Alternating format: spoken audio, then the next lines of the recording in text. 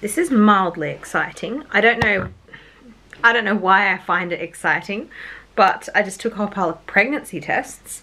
Now I've got to go take a RAT test. So hopefully my positive streak doesn't keep going. As at this current point in time, uh, my doula, slant best friend, is, okay, she's not positive, but her partner came home from FIFO positive and she's been around him. And now their little girl who's too young to get tested is having a fever and stuff. So it's like her partner and her baby that she's living with and isolating with are both positive, proven and assumed. And then she's meant to be going to get a PCR. She's been taking RAT tests. Um, she's taken three, I think 24 hours apart, give or take. And she's still negative. So hopefully she's just like immune. Sort of doing a trial of waxing versus shaving. So that's why I've got two completely different like levels of hair in my armpits. Um, but the midwife is on her way. She's about 45 minutes out from my 38 week appointment, even though I'm 39 weeks and two days. And she's just requested I do a RAT test before she arrives. So I'm gonna go do that. All right, this is an oral fluid one. I've never done this, so let's read the instructions. Deeply cough three to five times. Place the tube into the tube holder. Add the entire disposable buffer. Also, why is it like, it's like, it's like one, two, three, four. like why? Um, so place the tube into the, I'm going to get this out so I know what I'm looking at. Test tube holder somewhere. I don't know where that is.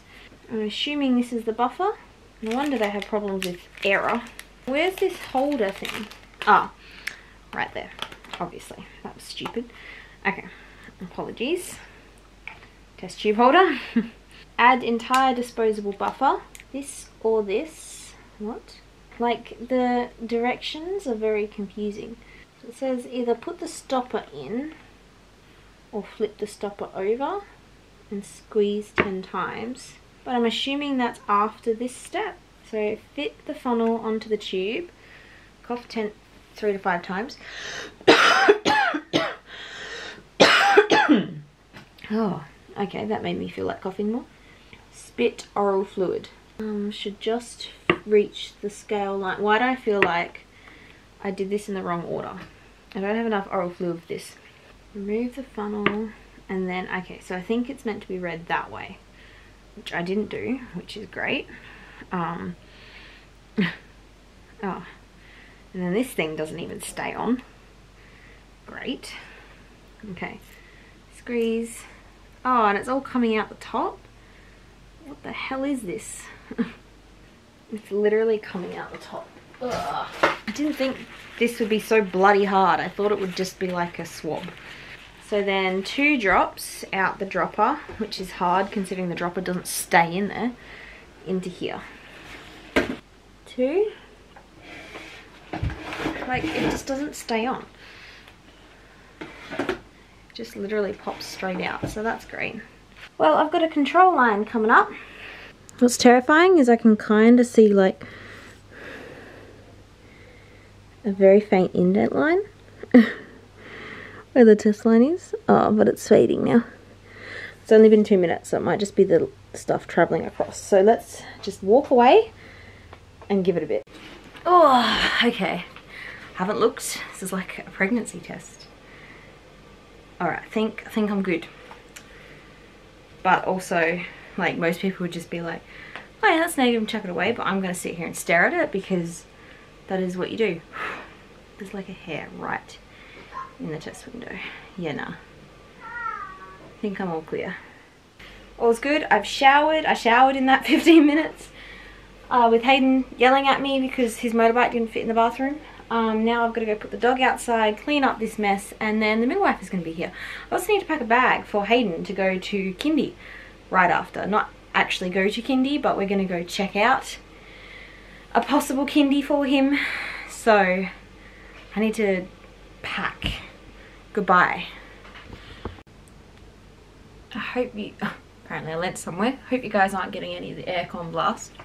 Um, oh, I'm getting kicked midwife came everything was good. Uh, it was very breezy, very quick. She, Bub is happily wriggling around in there. Um, I didn't actually ask what the heartbeat was, but just based off like experience, it was quite high actually because he was having a big wriggle. It was about 150 and then it dropped back into the 146-ish range when he calmed down.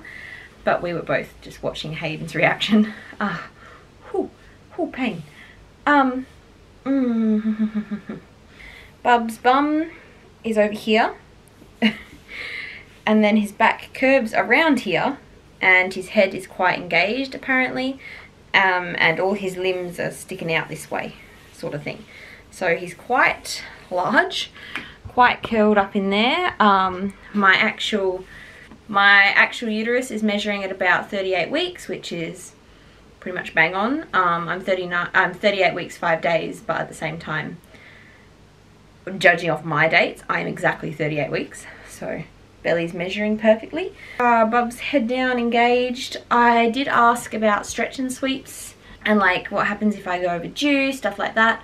Apparently I can ask for a stretch and sweep from my 40 week appointment onwards, um, which is like just over a week, which is kind of crazy, uh, which I might do.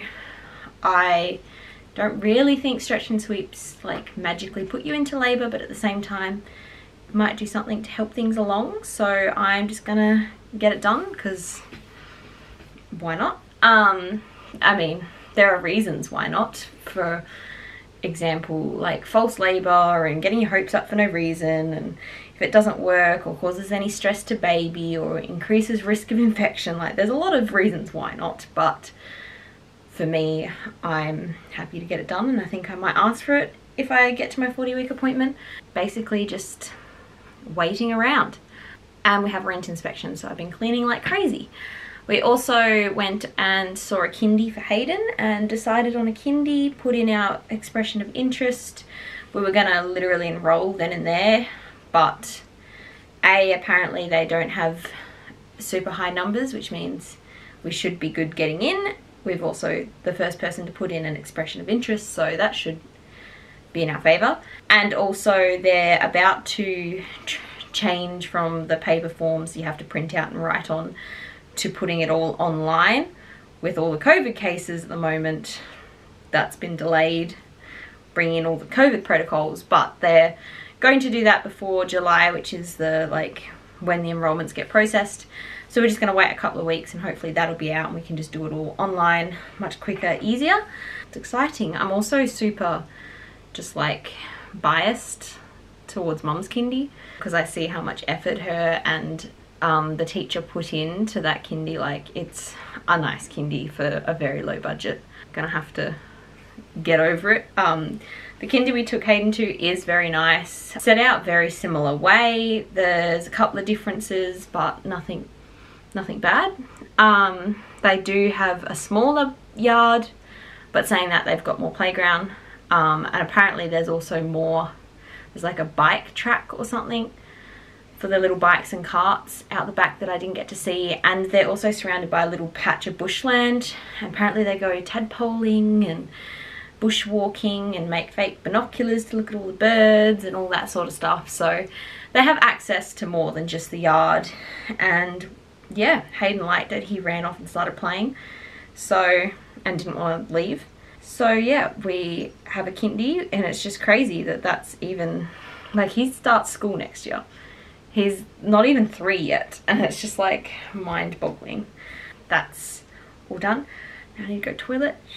Mm. This would look like a contraction pain to most people. No, it's just gas. Maybe. Mm. I get this, this pain, which is equal to some contractions. Even when I'm not pregnant, it's a gas constipation pain. Problem is when I'm pregnant, there's a lot less room there, so it happens a lot more easily. And then also, I think it's, um, oh, what's that nerve that runs down your legs? But basically, I'm pretty sure most of my intestines go on this side. What's the matter, darling? It's all right. Um, and basically, when I get gas pain here, it pushes above this way, it sits on a nerve, and I get cramps in my leg. Goodbye.